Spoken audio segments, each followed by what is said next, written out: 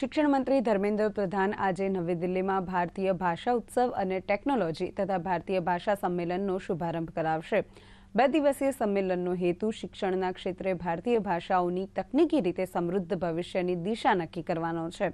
આ સંમેલનમાં ભારતીય ભાષાઓને પ્રોત્સાહન આપવા માટે ટેકનોલોજી પર વિશેષ ધ્યાન આપવાની સાથોસાથ ત્રણ મહત્વપૂર્ણ સત્રનું આયોજન કરાયું છે.